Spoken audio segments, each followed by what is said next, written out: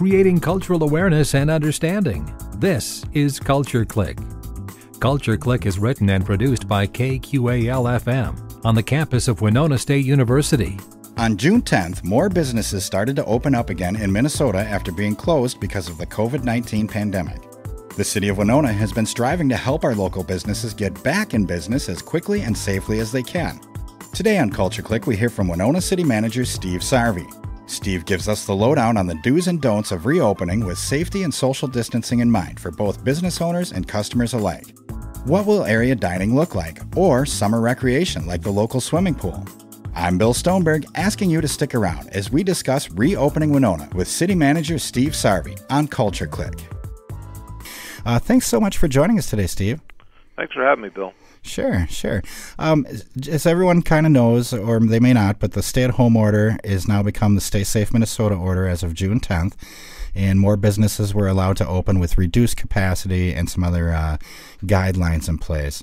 Uh, Steve, one thing that I thought was uh, pretty cool in particular was that the city has approved an emergency ordinance designed to allow bars, restaurants, retail and service businesses uh, to temporarily use outdoor public spaces adjacent to their business. And personally, I think that's a great way we can help our local businesses kind of get back in the game and get back on their feet. Um, and, and, I've seen examples of this with bars and restaurants with outdoor seating. Uh, Steve, can you give me an example of how like a service business might utilize this? Like, what would that look like? Uh, it could be uh, that they put some of their merchandise out on the street or in one of the um, parking stalls on the street that they're blocked off as well. Okay. So it, it, it takes some of their uh, footprint from indoors and puts it out outside. Uh, we're we're looking for any opportunities to uh, you know to increase uh, traffic downtown uh, to these small businesses that that don't have the the indoor capacity like a, a Walmart does or a Target. Right. And um, allowing them on the on the sidewalks, I think, creates that sort of an atmosphere. Plus, I just think it it adds to you know a different vibe downtown, and um, that might attract people as well. Just to just to sort of wander around, uh, maybe grab something to eat, something to drink, do a little shopping, and um, just have a good experience downtown. We've all been cooped up so long that um, it's nice to be able to get back together, uh, socially distant, of course, mm-hmm. but uh, you know to get back together and and, and celebrate that uh, that we've made it this far. Right, right. I know personally, I've utilized several uh, patio spaces uh, since they were allowed to open outside. Um, and it's it's been great.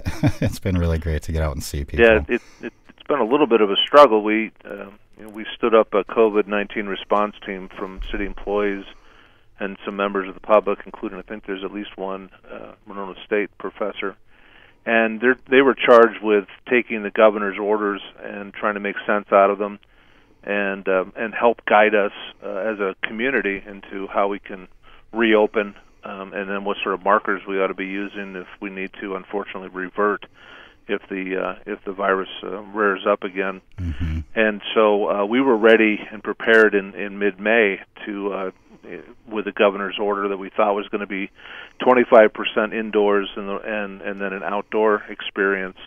And when the governor said no indoor, it was only outdoor. Uh, that that caused us to have to revamp our plan. Mm-hmm. Uh, but I think in the long run, uh, having a 50% capacity at this point and outdoor space, I think it opens up some opportunities. Uh, maybe not even just through this pandemic, but it might it might offer us a different look at how Winona could operate uh, in the future as well. You, know, you think of great places around the world; most of them have seating outside. You think of Paris mm-hmm. and um, you know other cities like that. They um, you know they have those they t- taken those opportunities, and it's something that we should explore as a city uh, post pandemic.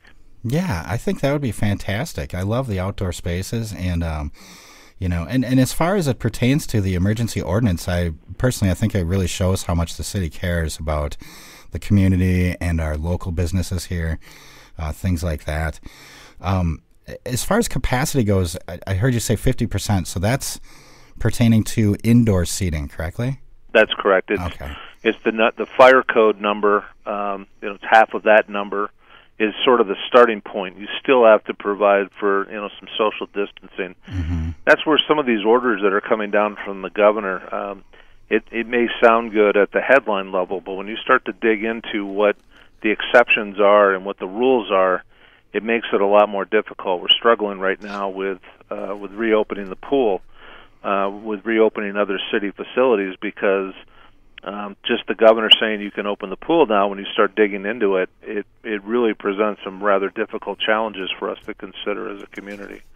And I also make want to make sure I back up and we want to thank the Chamber of Commerce and the downtown merchants mm-hmm. that, that are part of the Main Street uh, Main Street uh, committee as well for helping us to get those uh, that ordinance out as quickly as we did in order to meet the needs uh, of the of the businesses downtown and throughout the city because we wanted to make sure we were writing an ordinance that isn't just downtown focused, although primarily that's where it is. There are other restaurants and bars that have similar situations throughout the neighborhood and throughout the cities, and we want to make sure that they have those opportunities to spread outside as well. Right, right.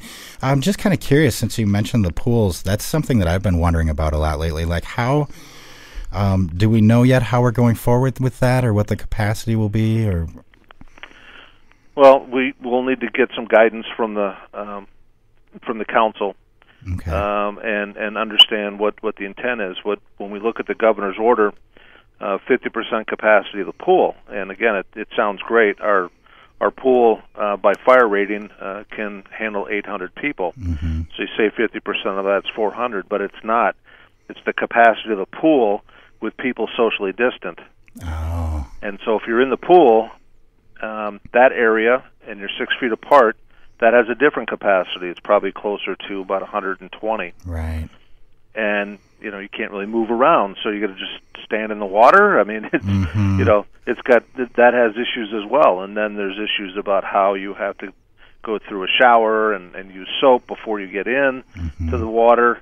Um, there's equity issues about some people can then get in the pool and then other people can't. And how do you tell winners and losers? And so we're we're finding it very difficult to meet um, the governor's um, explicit guidelines. And we're working as as best we can to try to figure out ways around it um, figure out ways that we can you know comply with it but still have it make sense for our community Right, right. And I think I'd just like to say I think you guys are doing a great job because like you said earlier, things could change, you know, tomorrow. I mean, things are changing so quickly. Uh, they are, and and this you know while everyone seems to be tired and giving up on the virus, uh, I can assure you the virus is not giving up on itself or mm-hmm. on us, and so it's really important that everybody doubles down their effort and they they practice those social hygiene or those uh, hygiene uh, um, recommendations, washing hands, that sort of thing. That they wear masks when they're getting close to other people or if they're indoors um, and that uh, they practice social distancing.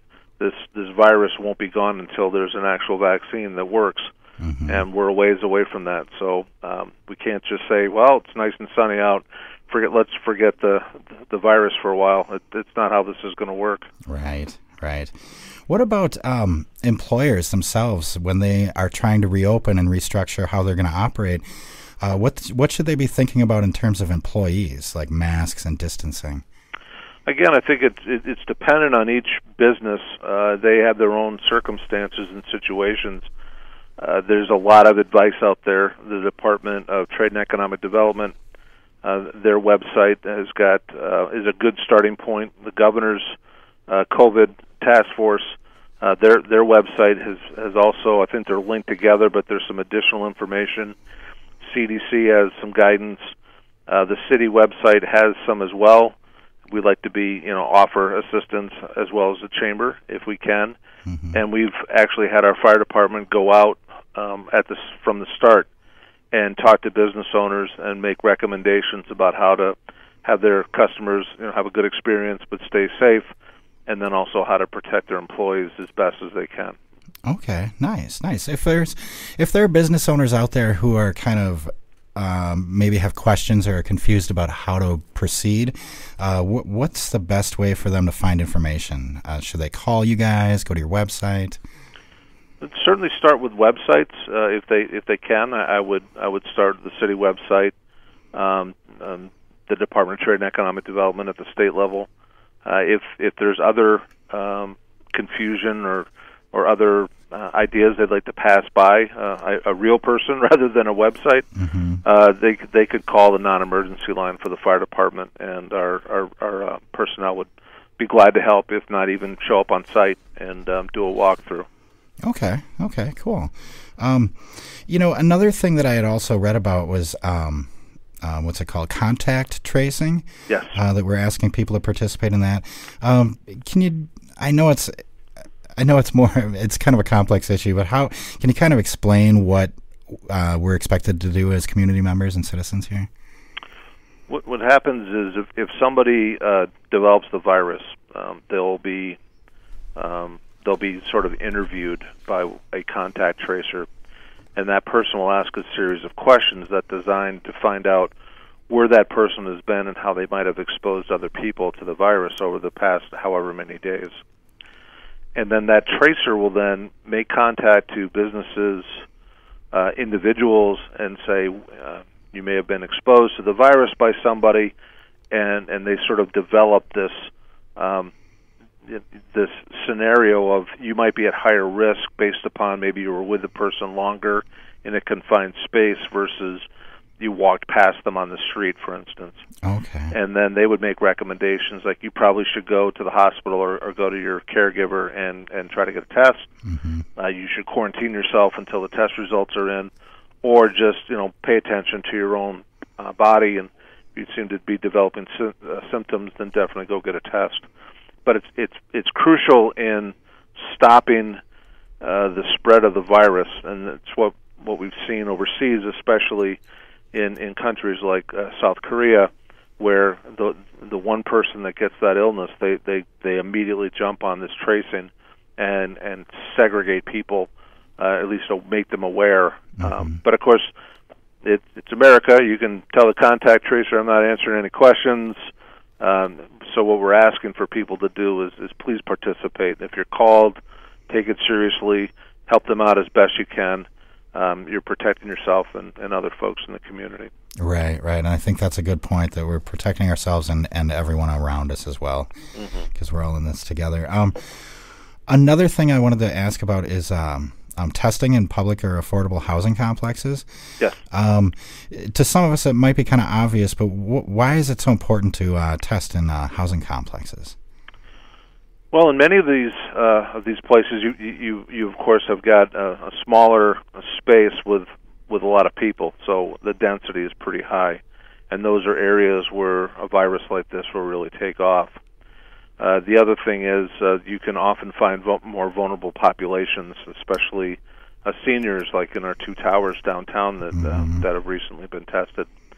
So we've been partnering, uh, especially through the fire department. Uh, Chief Biddle's been partnering with the uh, uh, a team out of Winona, Winona Health to do these tests.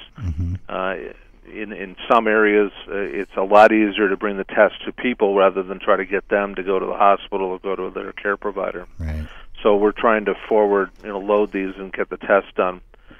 To to me, also, I think it's important because this fall, uh, judging upon uh, previous years, we're going to need to make a strong effort to get folks vaccinated for the flu. Mm-hmm. And again, I think it's going to be an all hands on deck. Let's get let's get the shots administered the vaccine out at the point of where the people are, rather than expect them to show up to some other place. Right. So if we can do that, and then at some point, you know, knock on wood, we'll have this vaccine done, and um, trying to uh, put a vaccine into eight billion people's arms, you know, that's going to be a that'll be a very difficult endeavor for us to do. yeah. Um, so the more that we can get people used to getting their uh, health care provided to them like this, you know, right on right on where they live, I think uh, the better off we'll be. Definitely. I think that's really smart. Is there, like, if someone lives in a housing complex and they haven't been contacted yet, is there a process for them to sign up, or will the city or Winona Health contact them? No, if if if um, if they're concerned, they should uh, whoever's in charge of the building or a caretaker, they should contact uh, Winona Health. Uh, they could contact the county uh, health folks, and they certainly can call the uh, the, the fire department. We will be willing to help in any way that we can. Mostly, what we're doing is we're we're connecting people uh, to the resources that are out there. most of our firefighters are paramedics. They could administer the the vaccine and the shots and the tests, but we're not doing that. We're we're connecting them to the people at Winona Health who are doing it. Um, but again, that might change when it comes to uh, trying to get 27,000 flu shots out Mm-hmm. in the fall. Uh, I would imagine that you know that we will offer our services as well to try to make that happen as as, as quickly as we can. Right, right.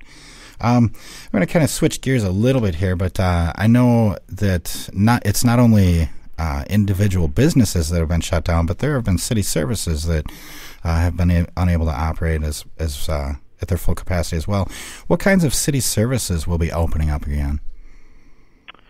Well, we hope all of them. Okay. Um, you know, the the Friendship Center has been closed since day one because they deal with a population that this vaccine seems to like to to affect the most. And so, um, and then as it got into spring and summer, uh, the air conditioning, unfortunately, is on the frets at the uh, at the building, and we're studying whether to put a an entire building system in. So the building's really not usable. So uh, the library is another instance where there's been some modified opening. They're receiving materials. Uh, there's some limited capacity to, to check out and pick up books on the sidewalk that have been placed in bags for folks. so nice. um, we're doing what we can to to open these facilities, and where we can, we're also offering uh, services remotely or online. So the Friendship Center is doing is doing several things online. The library is doing lots of things online. Um, but again, it's it, it it's not as as simple as it sounds to just open things up. Uh, Right. Lake Lodge, for instance, uh, you know the the boats, um, the materials that are rented out. Boats, for instance, you'd have to um, disinfect them after every time someone uses it. You'd have to disinfect the um, the, the oars and the paddles, and the flotation devices Right. because they're porous. They have to sit for 72 hours before you can use them again. Oh, So very very difficult for us to to do that. But you know, on the flip side, we've been able to keep the li- the um, uh, our park system by and large open. We haven't closed down the basketball courts. Uh, when kids early on were getting a little too close together, we asked them to s- to you know separate, have smaller groups, or we're going to have to take the nets down. They listened and they complied, so we were able to keep those open. Playgrounds for kids, same thing. Um, I can't say enough about the people who live in Winona that are that have been very careful about that, and it's allowed us to keep our our outdoor recreation services open and our parks open, um, which is a lot of people to get outside, which is what we want them to do. right. Uh, we wouldn't be able, we would not be able to do that though if people weren't paying attention and, and, and being helpful on the other side. Most other cities and communities in Minnesota, they've closed, they closed their park systems, even their trails, um, and you know we've we've chosen a different route because um, we, you know, folks that live here are just doing an awesome job at at helping us out Right. and helping themselves out in the long run. Right. I know. I know. I kind of sound like a broken record sometimes, but we're all in this together, you know. And uh, Yes. I think it's important because a lot of people we have such a uh, great natural resources around here for people to enjoy, and uh, I think that's really important to the people who live here. So think that's really good that we keep that stuff open, um, as long as we're mindful of each other. Yes. You know. Um, this one. Uh, this one's kind of a personal issue for me. Um, garage sales. I know garage sales have been allowed to open up with uh, new guidelines and restrictions. Um, um, I love garage sales personally, so I think that's great. Um, I didn't although- realize that was such a big deal. We I know. when we passed it. Um, I was we were getting all sorts of good publicity for it. I was like, my goodness, we could have done this a while back. right, right. But uh, you know, and then I'm curious though as to how it operates. I know I've read the uh, regulations. You know, stay six feet apart. Um, try to have it as much outside as you can. Um, but I know some people might ask, well, why garage sales? You know, um, was there a call for that? Did you know a lot of people ask about that, or what was the reasoning? You know, I I, I don't know why. Okay. Um, it was it was brought forward to us. Um, there seemed to be uh, folks that were, uh, you know, that wanted to to have garage sales and they wanted to be able to get back out and do that sort of thing. And and as a matter of commerce, which it is, um, it seemed like a fairly low hanging fruit for us to say, yeah, here's some guidance. You know, try to keep as much outside. Um, limit the number of people if you can. Do uh, you know cashless transactions. and, and you know touchless transactions as much as possible, and Mm-hmm. and uh, yeah, reopen. And um, yeah, you know, again, I was kind of floored by the response, but um, it, w- we really don't want to get in the way of you know of folks being able to live their lives the way that they want to. It's Mhm. that's certainly not the intention of all these rules and regulations. Right. So any any chance we get to to let people know it's okay to do something, we you know we want to make sure that that we're doing that and giving them some guidance, some education along the way. Right, right. And I think you hit the nail on the head before when you said that, uh, you know, the people cooperating and uh, having concern for others and listening to uh, the guidelines. I think that's key, and I'm, I'm pretty impressed with our city here, I think. You know, the citizens and, and uh, the city of Winona as well.